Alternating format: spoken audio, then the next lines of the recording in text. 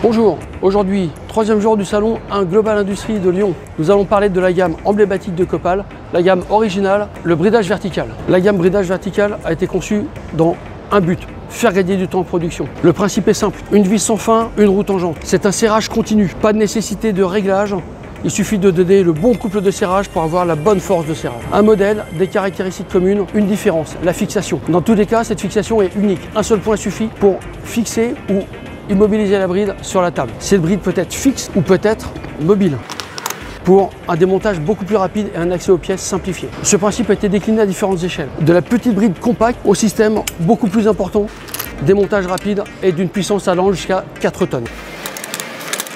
Dans le but d'augmenter les capacités de nos systèmes, une gamme d'accessoires a été créée.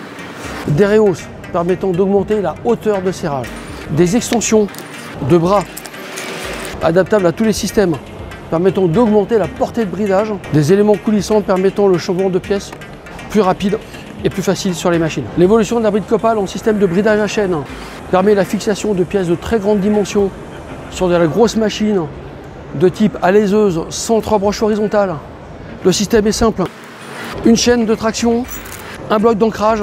Il n'y a pas de réglage, il suffit juste de passer la chaîne par-dessus la pièce de serrer la bride avec la clé pour obtenir une parfaite répartition de la force de serrage autour de votre pièce. Pour plus d'informations, retrouvez-nous sur indusnet.work.